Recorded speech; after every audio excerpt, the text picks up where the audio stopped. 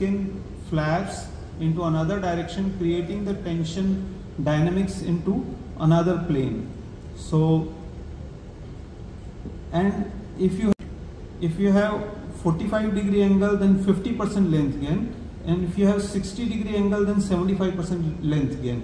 So if there is a half circle half rectangle half triangle and this creates a more and irregular scar and I will show you how scar is imperceptible.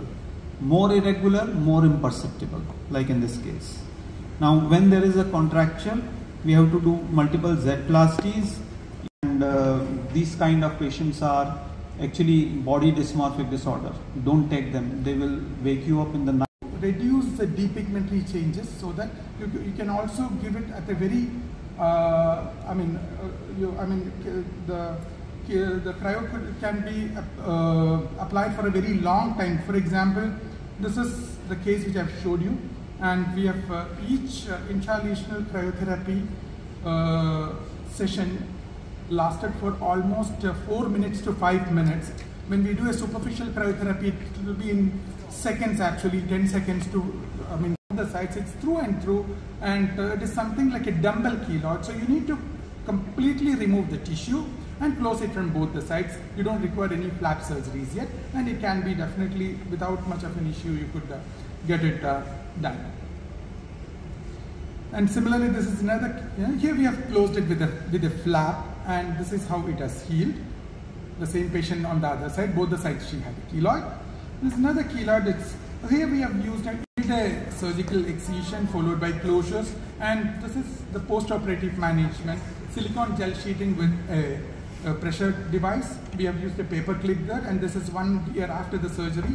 And this is another case here also the technique is different depending upon the type of the keloids. This is how we have removed it and we have closed it without any pressure and this is how it is. And the, the last photograph is after one year which is very simple. Anybody could do it. You don't require much of, uh, I mean, technology here. So we have used a simple shave excision with effective hemostasis. So this is before and this is after. This is before and this is after about three months. There is significant, you can use all these things. And uh, initially if you're using for acne scars, you can have at two different levels. So that is a simple subcision at the immediately under each scar and a subcuticular subcision at the abnormal texture, thickness and stiffness of the burn scar. Non-ablative for superficial scars, pigmentary lasers if there's any post-pigmentary pigmentation and laser-assisted drug delivery. These are various things which you could use with the energy-based devices. So this is a paper, which is a recent paper which shows and which says that surgery is not the answer, it is always the energy-based device. Patients of segmental vitiligo are actually good candidates for vitiligo surgery. And the most important consideration for that is stability. There there are advantages and disadvantages of both and it's always good to have situations where you use tissue and situations where you use cellular grafts. The tissue grafts, they include the mini punch, suction blister, split thickness, curettage, flip-flop and hair follicle. These are the classical ones. The, the, the current ones which you use is non-cultured epidermal cell, uh, but you cannot do it for large areas. Uh, a very important thing which one needs to keep in mind is the size of the punch. I mean, if you to less than a millimeter, the major complication uh, which you can get with mini punches, the cobblestoning, can be reduced. Of, um, drain the fluid, of the blister and transplant it to the required site. That's a very simple procedure performed by Yvon Gauthier. And uh, Yvon Gauthier is a very famous pioneer in vitiligo surgery. So the basic premise he made was, and he had a very interesting thing. He raised suction blisters and injected trypsin in them. And uh, when you inject trypsin, uh, so what happens is trypsin cleaves it, it separates the epidermis from the dermis, so and then he should take it and apply it. But it was very, very localized. So what he started off was with suction blisters and applied trypsin, and then it was taken by, you know, to separate, uh, to separate them, the ORS, it takes time. So you need multiple incubations with trypsin. So, and then after multiple incubations with trypsin, Speaking on electrocautery or electrosurgery and cryotherapy. So first coming to electrosurgery, So what is the difference? What is electrocautery? What is electrosurgery? So electrosurgery is a procedure where the patient only uh, patient is the part of the circuit and the electric current passes through the tissue whereas in electrocautery patient won't be part of the circuit and electric current will be just at the superficial level. So again one more term radio frequency. So what is radio frequency? Radio frequency uh, instrument works on the principle at uh, frequency of 3.8 megahertz whereas other electrocautery machines or electrosurgery machines that will work at a general uh, um, uh, frequency. So whenever you are buying, if radio frequency you can opt for, then it is better because it is very precise and very specific. So what exactly happens in radio frequency? For there be, it works on the principle of increase in frequency and voltage while simultaneously decreasing the amperage of alternating current so as to generate the radio waves. So in a radio frequency equipment, it is radio waves which are acting rather than electric current.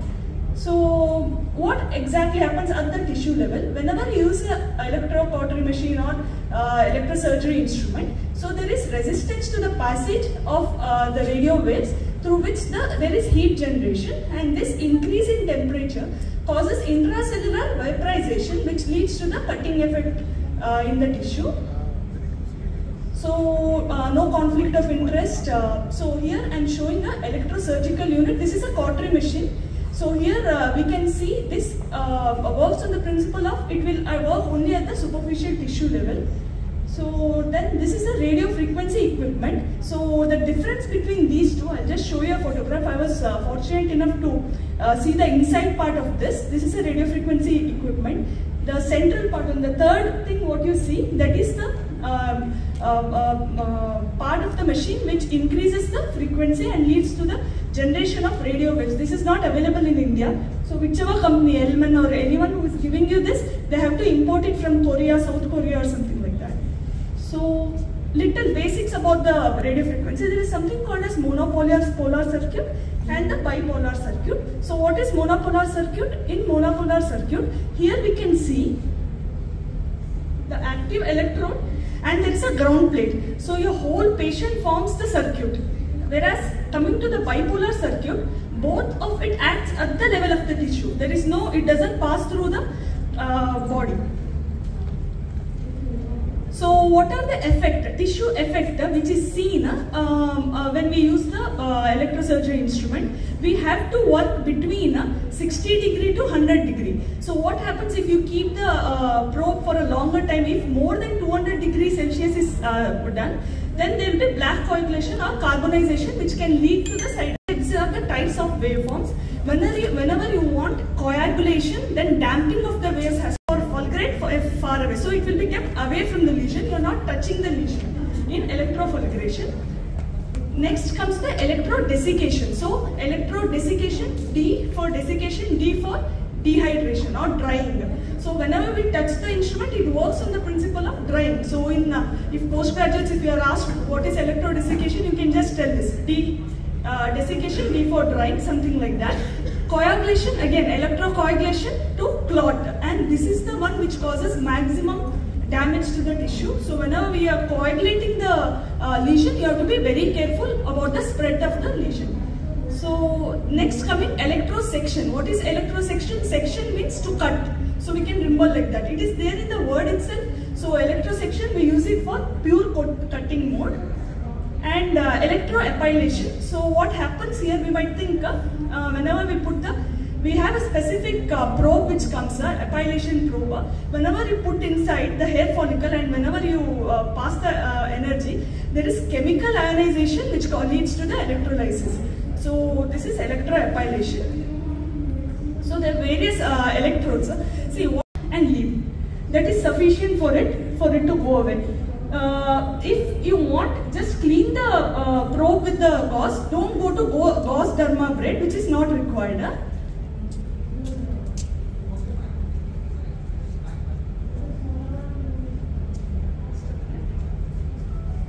And uh, yeah, for uh, um, in the further video we can one minute. Can't we forward this?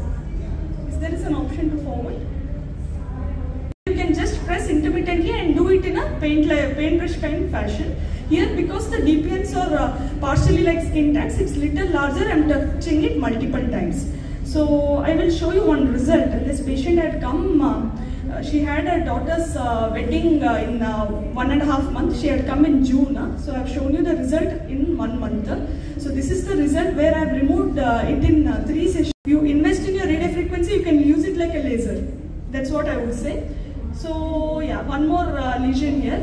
This patient had come with, come to me with this lesion on the eyes. He had it since around uh, uh, 20 years. So his wife got uh, him and she was very adamant on getting it removed. He was not interested though it is so big. It was affecting his vision as well. So in this I have uh, just cut the area because and then I have coagulated. It has healed very well. Uh, if I am able to show the next part of the video immediately then I can show you the final result. I don't think so.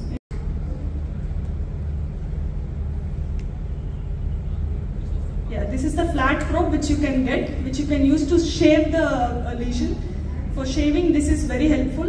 And uh, once after shaving uh, the lesion, if there is any bleeding spots, you can change the probe to ball probe. Ball probes works very well. One uh, just a touch with the ball probe, the bleeding will stop. Okay, but then the chances of uh, side effects with ball probe is the highest compared to any other.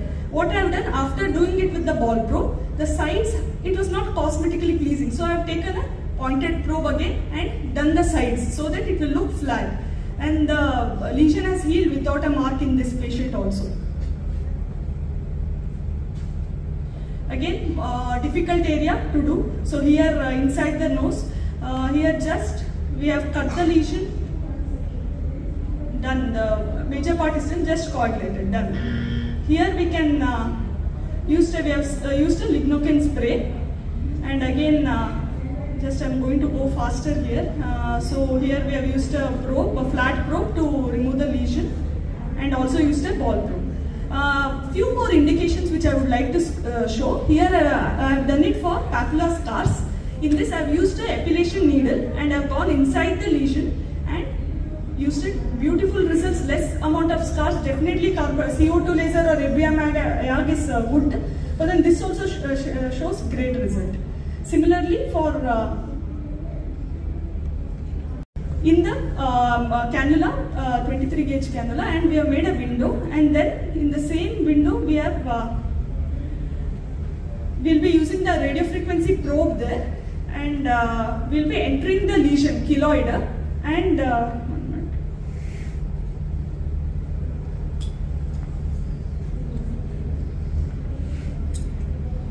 We have uh, used the, uh, at the window level we have uh, used the probe with slow motion of from the left hand you will remove the cannula and fast motion in the right hand you will be using in that area.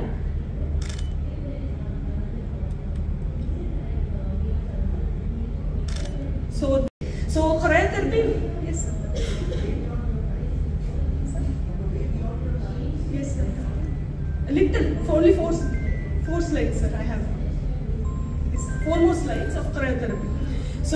Nitrogen, uh, we use at minus 20 degree for swab and minus 196 for spray or probe. And uh, differential sensitivity is very important. That's the reason depigmentation can happen. Melanocytes have minus 4 to minus 8. Indication, I'm going to skip. Contraindication, anything cold, you have to contraindicate. Collagen vascular disease, please be careful, ask the history. And uh, techniques, uh, I'm just going to show one or two methods. That's just the methods. I'll be quick enough to finish it.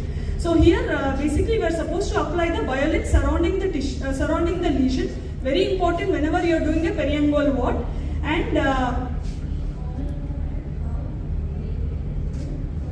spray, keep it at one centimeter, form a ice ball. That is the end point of uh, cryotherapy. And this is the result after uh, three sessions of cryo in three months without any depigmentation or any scarring. This is one uh, method which is uh, uh, which you can use like a confined cone. You can use a punch and you can uh, do it for the keloid, uh, acne scar keloids. And the last slide is on intralesional cryo. Last thing which I would like to say is whenever you are doing intralesional cryo, you have to be outside the, the, the needle has to come outside. Whenever you, whenever you are doing intralesional RF, the needle, the cannula should be inside only. Because if you don't come outside in intralesional cryo, I have heard from my colleagues there is pneumothorax also which has happened. So please be careful whenever you are doing intralesional cryo. So two, two passes you can give of uh, around uh, uh, till you see the ice ball formation. Complication only thing which we have to worry is depigmentation. So be careful, apply biolin adequately and. Thank you, thank you for this session. Dr. Kaleshwaran sir and Dr. Avitas John sir.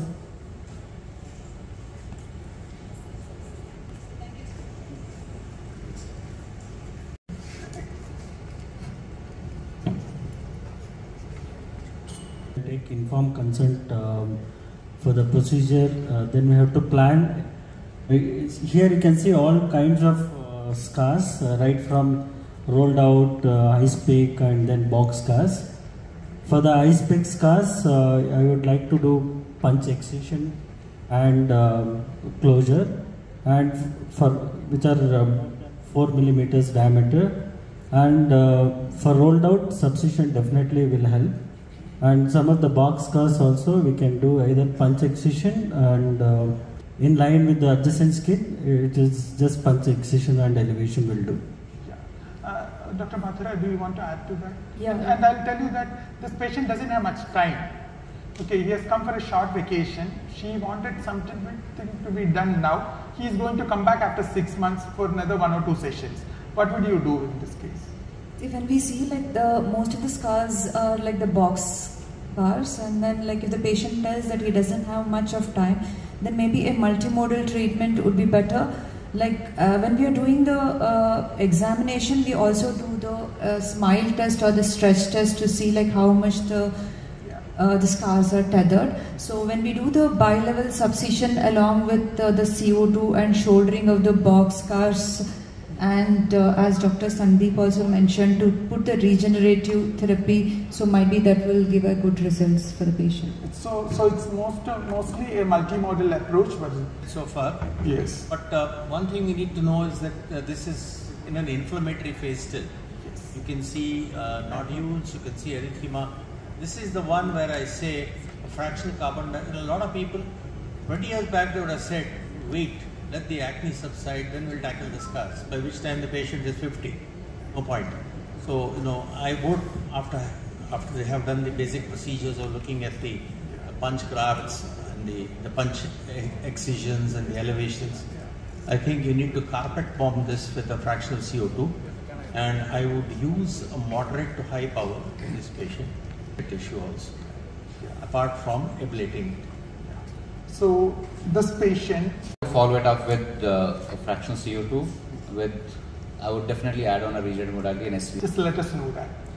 Yeah, so I, I think uh, if I remember correctly, W-plasty was done uh, because this is a depressed scar with prominent suture markings and hypopigmentation.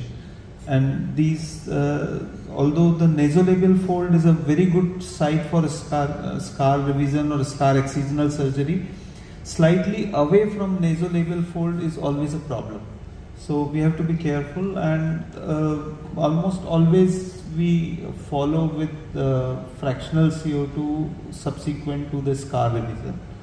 So I think this this is a good result and thank you for bringing this case. I don't even recall it. Exactly a beautiful. Uh, you know, crossing uh, skin tension line not horizontally but obliquely. So uh, here we uh, excise the area, did a lot of undermining and put push sutures, which we, we uh, devised a new kind of sutures because here, because we are against the skin tension lines, so we have to be uh, very good at uh, transferring tension in the deeper layers. And uh, almost half of the forehead on the upper side was undermined and the wound was closed without tension. Still, you can see that there was a depressed scar. So, this is because of the uh, stretching caused by skin tension lines. Yeah. Uh, anything more to be done? sir? Yes, sir. Yes, sir. Ask uh, Somesh, Yes, sir. when you run your finger over the scar and you find that some of it is tender or some is thicker, some is do you alter your uh, surgical technique or do you wait for that uh, inflammation to subside? I mean, you see, some of these are sclerotic feeling, thick feeling, uh, feel indurated. Others are pretty free. So, do you have changed a lot? In, in good hands, you need not to wait for inflammation signs to be subsided. And if we do a clean cut and good closure, even those cases can be dealt with surgery. The distance has occurred, I think, which Dr. Somesh showed, when the deeper layer is not closed well. Yes. I think we could have prevented a lot. The initial surgeon, or maybe it was too traumatic to actually get a. Also not followed.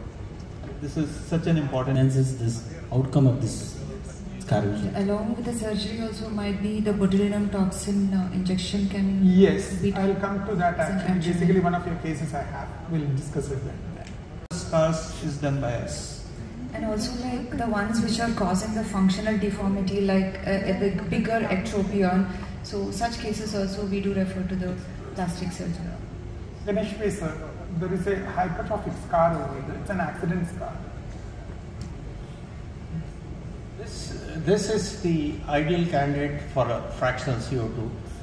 Uh, I would use a higher density in this patient. I would also use a higher power because this is at least uh, 3 millimeters thick, maybe even more. Yes. Yeah. Because we cannot half do this with lesser power. We have to get to the base of this and after that wait for it to heal before we do the next modality. These respond very well. Anything on the face responds much better than anywhere else. The face has full of sebaceous glands, full of vascular tissue. Along with the carbon dioxide laser, but like the same parameters what sir has already mentioned, and uh, just two sessions we could almost flatten it up. Yeah. So these are the keloids which are there on the face. This is actually we did a biopsy and it turned out to be a granuloma faciale. Yeah, and but definitely it has to be removed. So she came thinking that it's a keloid, and so many people have treated it as a keloid as well. This is how we got this patient. It was referred and came. So what would you do and how are you planning to treat it? Basically, we have to treat the cause for granulation. Yeah. There, uh, just below the temple, can be excised and then it can be linearly closed. So maybe uh, the nasolabial lesion can also be closed primarily. So might be I would take the first lesion and the nasolabial and the temple lesion can be done together, and then the third lesion can be done after three months. Great, great. You know, excellent. This is what we want. It has to be more practical. And uh, Dr. Sandeep, do you have something? I'll ask uh, Samir sir last because I wanted to get from him actually. Yeah. It's an option, but I won't give it first. Okay. The, it, it, it will involve a, a well planned surgery and a good result at the end.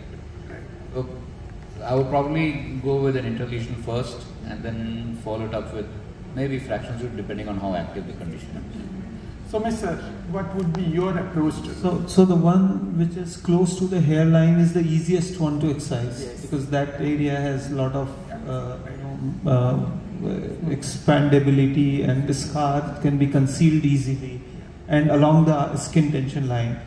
The worst kind of lesion which is uh, in the middle of the cheek, there I can I would prefer first to try intralesional injections and if it settles down then laser. And the one scar which is already uh, half like depressed and half elevated we can do staged excision uh, small area to be removed in one session and the remaining in the other session to reduce the length of the scar. See, what we have done here is like we removed two different lesions, one through a rhomboid flap, the, la- the one towards the nose part, the middle one as a uh, like a staged uh, excision. And uh, recently the patient came for the third lesion and this is after the one again with another rhomboid flap and this is how she looks now. So the earlier scars were not that bad. This is immediately just two weeks after, I mean, one week after suture removal it is. So definitely it's always when you have multiple lesions, if you're not confident about doing everything together, if you don't, you can definitely do it at small, small sessions. And depending upon whatever technology, technique, if you are more comfortable with, I'm more comfortable. This is a rhombic flap. This is how you. So why we have chosen the W-plasty here is uh, taking the advantage of the laxity lower so that we can excise the extra amount of skin to give a good result and then when we have undermined the flap side we have also removed the fat underneath so that the pincushion deformity gets corrected and so this is how it is healed. So it's more of a W-plasty which you have. Yes. We need to move with subcision first. There will be tethered areas, there will be tissues which are bound out. So we need to do that. And While stretching it was almost improving. This is stretch, yeah, this, I think if you stretch it, it, it looks uh, probably most of the scars will disappear. This is a great candidate for fractional CO2 for reasons uh, uh, apart from their being shallow. Uh, the patient is also fair skinned. Patient is also young, so there's no sagging of the tissue. So this would do well with fractional CO2 and PRP of course. Anybody else want to add anything to the management or? So like uh, when we tell about the subcision here, like I was telling about the stretch and then the smile test also, like here we feel that okay the stretch test might be positive and the box scars are appearing to be a little superficial box scars. So when we are doing the subcision, the needle subcision which was shown uh, by to, the plenary session of uh, this ACSICON. So uh, this plenary session is for Dr. P.N. Behl oration and uh, this year's awardee is Dr. Maya Vedamurthy ma'am. It is our pleasure and honor to confer her the award. Um, for this session, our chairpersons are Dr. T. Salim sir, uh, our president of uh. So um, I call upon Dr. Salim sir to be here. Salim sir is sir kindly come on stage. I also call upon Dr. Dinesh Devaras, organizing chair for ACSICON 2024. And uh, I also call upon our academy co-chair Dr. D.S. Chandrasekhar uh, to chair the session. Sir is at Bangalore, uh, director, medical director of Cutis Academy and uh, has huge interest in uh, academics. He's our uh, academy chair. Sir, kindly come on stage. Village, uh, I'm delighted to introduce reduced dermatologic surgery and started it in India. He is the, uh, the pioneer in vitiligo surgery dermabrasion. He served as the past professor and head of department, Department of Dermatology, Maulana Azad Medical College, New Delhi. And uh, he was the first dermatologist in India to establish a skin institute uh, in private named the Skin Institute and School of Dermatology. Uh, he is known as a teacher par excellence and also a teacher of teachers. He has taught many students who are now in prominent positions in Indian dermatology and he has been the international face of Indian dermatology along with surgery for nearly three decades. And in honor of him, ACSI has introduced this and this has been a long-standing oration uh, to honor the legend in Indian dermatosurgical field and also dermatology. introduction. Good morning, respected chairpersons. To deliver Dr. P. N. Behl's oration.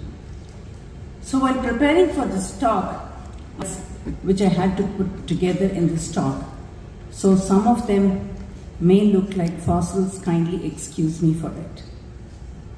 The old dictum describes dermatology in the past as an ounce of Latin and a pound of grease, highlighting the traditional focus on topical treatments and terminologies. It also says that the plastic surgeon redefines surgical techniques, physician redefines newer indication of old drugs, and dermatologist redefines nomenclature. But now dermatosurgery defies this statement. In fact, dermatosurgery has refined dermatology, and today dermatology is much about precision, innovation, and surgical skill. Now, coming to my journey, I started my medical journey at the prestigious Madras Medical College It sparked my interest in procedures and rekindled my surgical desire. And I'm happy to share that my involvement in dermatosurgery has not only brought me personal fulfillment but also has been professionally recognized today. Thank you, ACSI.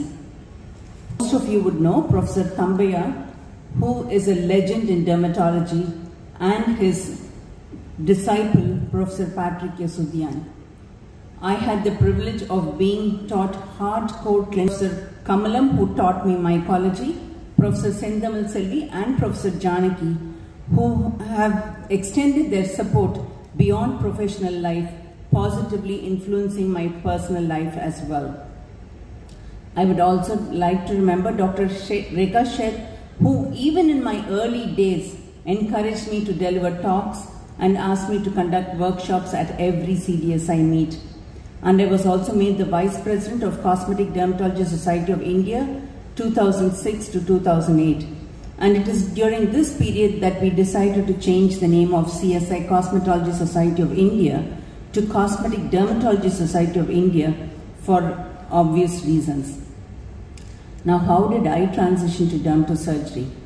I had joined government service to the corporate hospital made me witness the increasing demand for aesthetic procedures and increased awareness among patients on advances in dermatology my patients would tell me that they were going to Singapore, which was the closest place, and they would say they were going to Bangkok and seized the opportunity to attend the skin therapy update in 1995.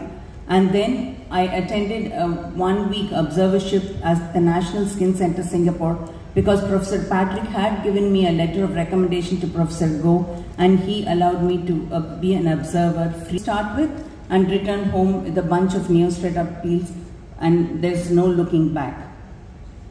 Now encouraged by the patient's acceptance for procedures, I pursued an observership course in dermatosurgery and hair transplant as it is a dream of every young dermatologist even today.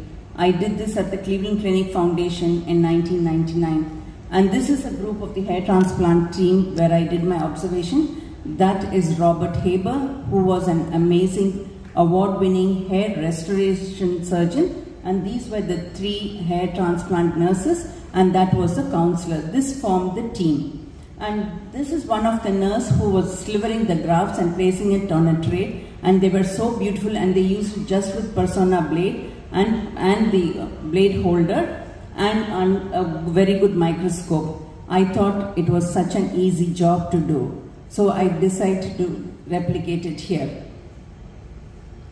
And at Cleveland Clinic, I also found a lot of lasers, sclerotherapy, Mohs surgery and injectables, which I had never seen in my life.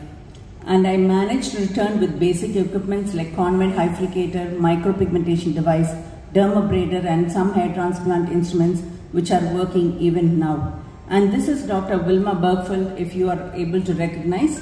I attended her hair clinic and I picked up a lot of important clues on treating hair disorders. And this is my first dermatosurgery book. In those days, we did not have dermatosurgery books and we were not as lucky as the youngsters now.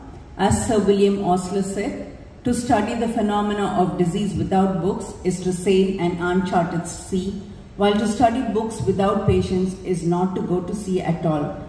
And I decided to do both. And this book by Roenigk and Roenigk on principles and practice of observership, I was inspired, as I mentioned earlier. I thought hair transplant is so simple. I decided to expand my practice by incorporating hair transplants.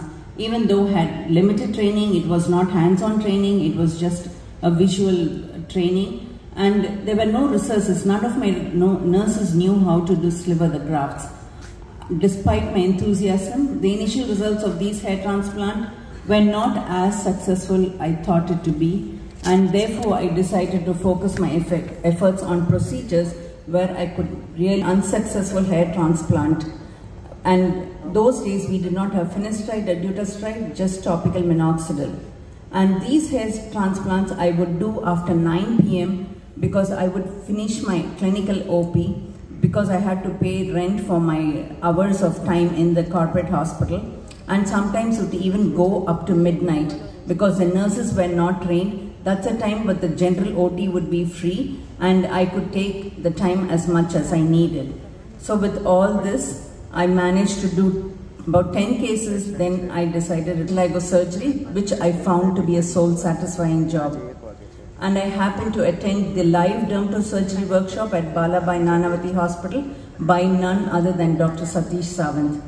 And I started doing vitiligo surgery under the guidance of a plastic surgeon in my hospital. I did split skin grafts, punch grafts, and I even presented a paper on suction syringe technique for epidermal grafting at the 20th National Conference of IADVL 2000 in Bangalore, 24 years ago. And these were the simple things that we used. I used the MR syringe, a glass syringe, and the simple rubber tubing. And this is all that I needed. Of course, now we have hijama cups. And sorry for the quality of the picture, I had to take it from my slide. And this is how we would place the syringes. And this is the graft that we would get. And this is one of the grafts which I'd used on this patient's lip vitiligo. And these were my vitiligo surgery equipments. It was a Humby's knife, Watson's modification. This was a dermabrader kit that I brought from there.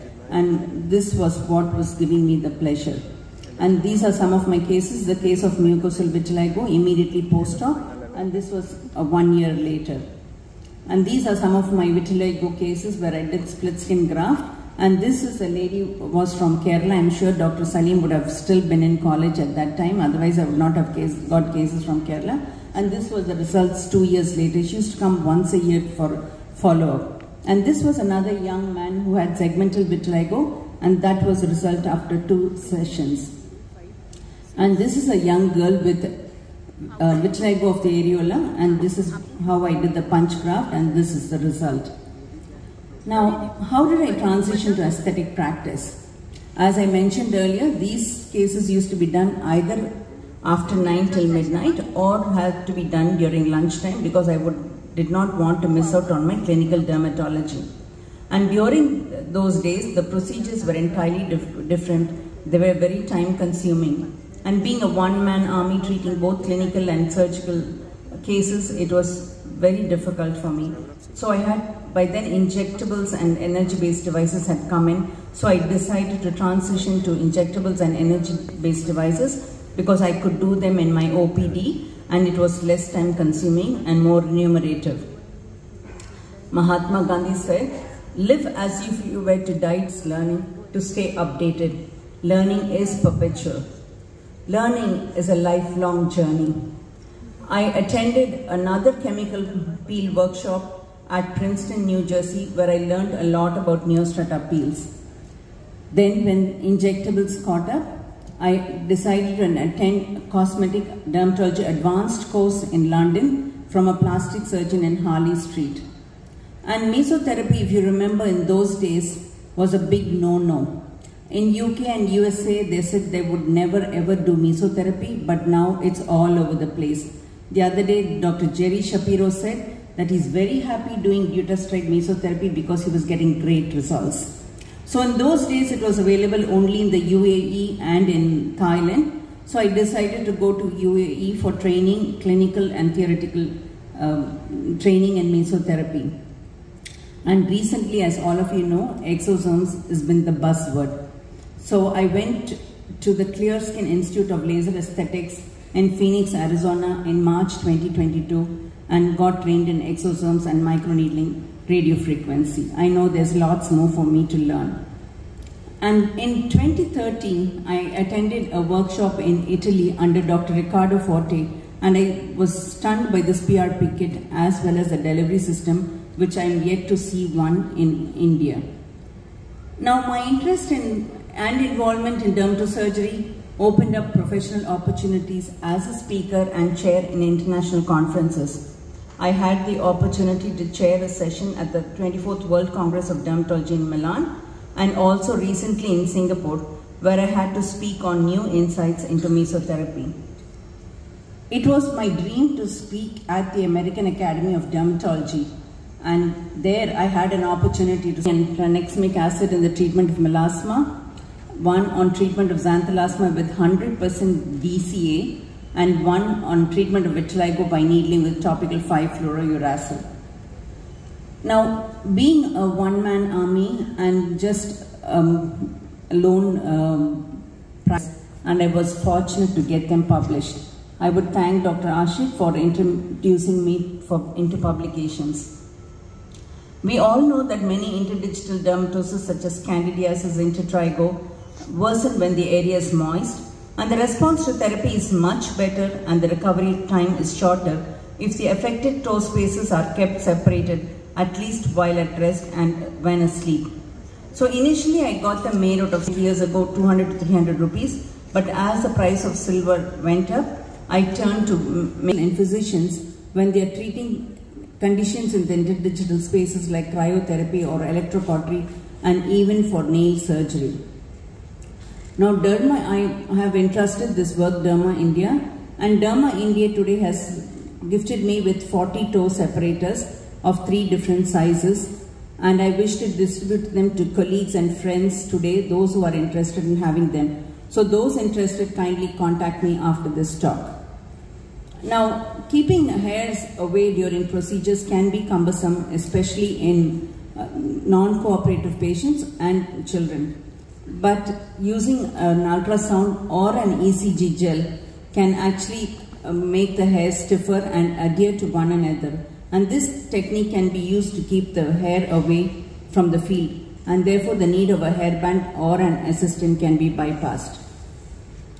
Now ear and nose piercings have always been popular and will continue to remain as beauty trends or cultural practices. For this, we only have a ear piercing gun or we have to two, use two needles, which is a little cumbersome. Here, we take a simple sterile hypodermic needle to fit the thickness of the earring or nose ring post. The needle hub is removed and we fit the earring or the nose ring post into the cut end of the needle and we just give a single pierce. The cost is low and the uh, procedure is sterile. Now, uh, we know that uh, idiopathic um, guttate hypomelanosis is a, it is said that pesky warts do more harm to spoil the reputation of the dermatologist than any other condition and so true. And most of the treatments for warts are partially successful and can have an increased rate of recurrence. And using an ultrasound gel can prolong the freeze time and maintain the temperature for a longer period of time, making it more effective. And this paper of mine was flashed twice at the AAD and under practice pearl sessions by Stephen Stone. So I, I felt really proud to see my paper being flashed at the American Academy. Now I must sincerely thank Dr. Jayashree for inviting me to be the co-editor of this book on aesthetic dermatology. And this is uh, Professor CRS blessing us on the day of book release. Dr. Ganesh Pai and Dr. Srinivas have always been a source of constant inspiration. I cannot forget the session on coffee with Maya at Dermacon, suggested by Professor CRS. And I would like to take a moment to express my heartfelt gratitude to Professor CRS and Professor Ganesh Pai for their encouragement and support throughout my career. Thank you, sir. And my contribution. Wanting to give back to the community and share the knowledge, I joined a group of lovely friends, Dr. Malvika, Dr. Nina, and Dr. Mutta, and started training workshops and named it Indian Academy of Aesthetic Dermatology. We were way ahead of times. We ran the course successfully for a few years and unfortunately, and I had the opportunity to host two such workshops in Chennai and you can see prominent figures there. You can see Dr. Vidya, you can see Dr. Um, Meera James, whom we are missing today, and uh, Dr. Tarun Mittal, Dr. Arti. And then in 2009, you can see Dr. Kali Suren and you can see uh, Dr. Krishnakant, who are all professors now. Now, I was determined to continue my efforts in educating the younger generation. I started a postdoctoral fellowship in aesthetic dermatology in my center. And this is attached to MGR Medical University. And this is a one-year course for post-MD and DNB dermatology candidates only. As this provides an opportunity to learn dermatosurgery while pursuing their postgraduate dermatology course. Now challenges. Actually, there was much less acceptance when I really started off. When I first ventured into dermatosurgery, it felt like stepping into forbidden territory.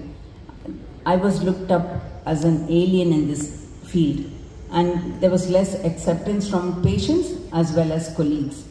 And I was actually practicing in just a single room, but I had to move on to a bigger space and buy more devices. Now, adversity in dermatosurgery often comes in the form of unrealistic patient expectations as well as unexpected outcomes, which is the norm.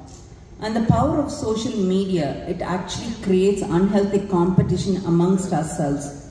And with Google misleading patients with its false five-star ratings for dermatologists. And to add to it, we have illegitimate competitors like the beauticians, the dentists, and the plastic surgeons. And thanks to IDAC who has come to our rescue, and I hope all of us will join hands with them to fight quackery. So in such situations, while facing challenges and skepticism, I was always reminded of the golden words of Professor Thambiah. The glory of tomorrow is rooted in the drudgery of today. So the best practice is to have a both cosmetic dermatology as well as surgical derm um, medical dermatology practice because medical and surgical dermatology should thrive in the symbiotic relationship. As Walter B. Uh, Shelley said, knowing the diagnosis is good, knowing the cause is better, and knowing the cure is best. And most often we know that dermatosurgery has the answer. Now, what is the future of dermatology for the youngsters? The future for solution for disease or desired dermatology is comprehensive skincare.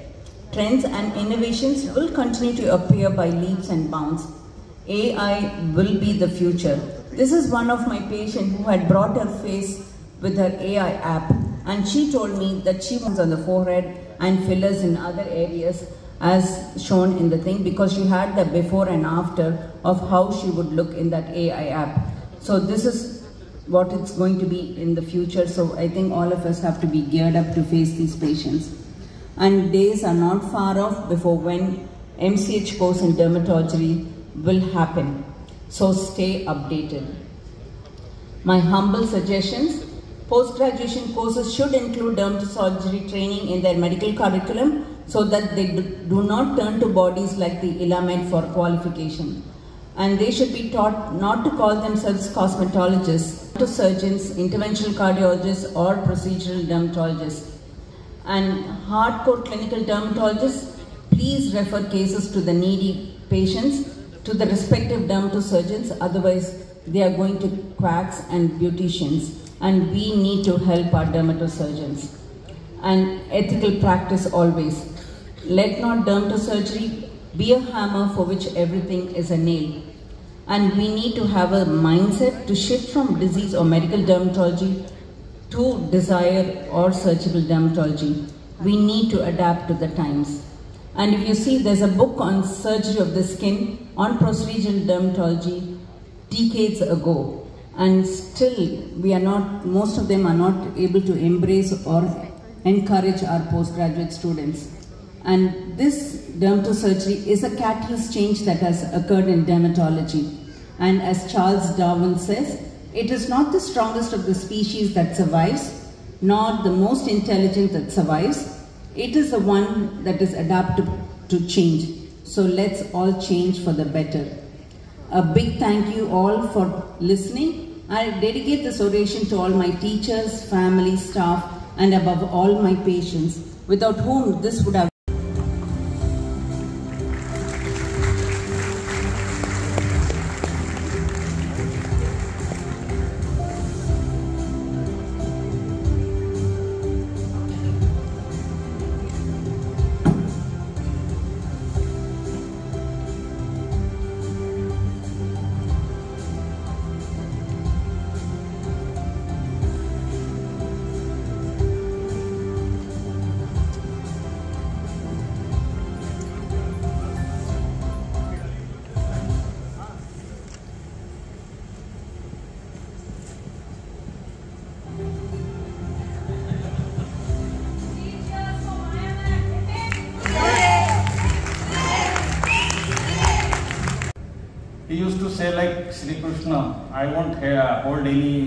in my hand, but I will tell you few tricks and tips.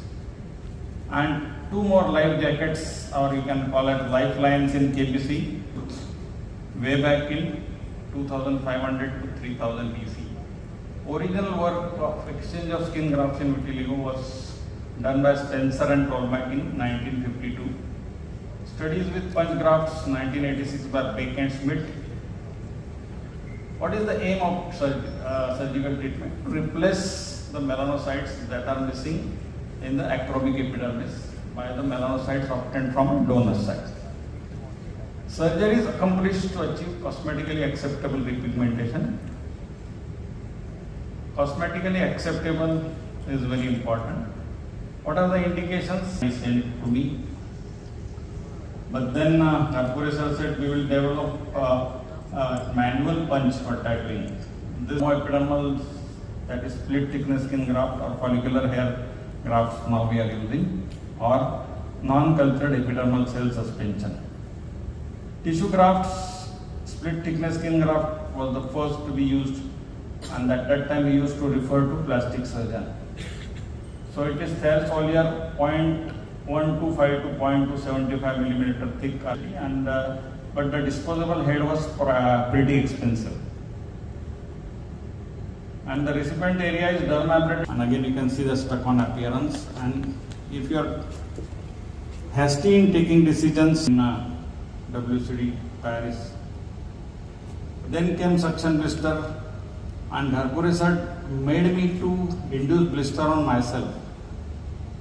So tops of blisters harvested into the suction pump and I sat for 2 to 3 hours and blisters were formed side up and sprayed nicely. You can see here it is the head of the forceps. Use uh, nozzle used by the ENT people to restrict the spread. No need of dermabrasion, only epidermis is removed, no bleeding. It is important to restrict because nitrogen is known to cause depigmentation. You must have seen the in keloids. So it is better to refer earlobe repair and this was also published in the textbook. So this is epidermal grafting, a little bit. These are lifetime awards by the patients. So advantage is simple, safe, inexpensive and effective treatment of lesions is good. And if case selection is proper, you get this Kevner depigmentation. So I touched his feet Another person is Mats Olsson from Sweden, Uppsala University. He had come to deliver a talk in Pune University, National Center for Cell Sciences, uh, which was attended by Garpuresan and me. The recipient area. This is a case of hypertrophic lichen planus, which is given intralesional steroid and also Q-switch toning to reduce the pigment. Among peels, glycolic acid rules with respect to pH and pigmentation. This is the insect bite reaction with pH with glycolic acid peels. Again, when it comes to acne pigmentation, glycolic acid rules again. Probably you will have a lot of combination peels which you can use. This is my segment. This is a case of Becker's nevus. We remove the hair. With enthusiasm, I put my NDR laser, Pico laser, See the amount of pH developed after Picot One session of Picot Zoom has developed this kind of pigmentation. It's, it's very, very difficult to predict who is going to pigment, who is not going to pigment. Maybe after we started QPTP mode of Q-switch, it is started resolving. When, when it comes to probably uh, desired dermatology of laser hair removal, here you see the pigmentation because of LHR. Probably uh, we did a combination peel with good results. This is probably one of the best peel for pigmentation. Its contents probably I have displayed it there. It is mostly inevitable in Indian patients and Asian patients. We are known for pH. It's very important because in colored skin you have number of ways to, to pigmentation. That is a very important aspect uh, in the lasers. Uh, where you are going to treat type 4, 5, 6 in types, you should need a uh, laser which doesn't produce much of PS, so Q's Nd:YAG is one so it has very short pulse duration less than 20 nanoseconds. And basic mechanism is photothermal of cutaneous melanosomes. So minimal damage to the epidermis. So we are not having any. Uh, then only we can target these melanosomes. And long rodent of 1064 can target all the dermal lesions and blue black tattoos. And 532 nanometers mainly used to treat the uh, rectal tattoos and epidermal pigments. Uh, these are other facts, I am not going to details. Actually destroyed in the melanophores in the zebra fish and human capnocytes. Erbium glass, uh, so Erbium YAG is 2940, so Erbium glass is 1550 nanometer. So this is a single session after Erbium YAG laser field. 8 ounce spot size, it's a very safe zone. 8 mm at 10 ounce spot size and 1064 nanometer. We can start from 1 joules, you can go up to 1.6 joules and higher frequency, 10 hertz, 5 hertz, 2 hertz. Uh, periorbital areas, you have to reduce the frequency. But 8 ohm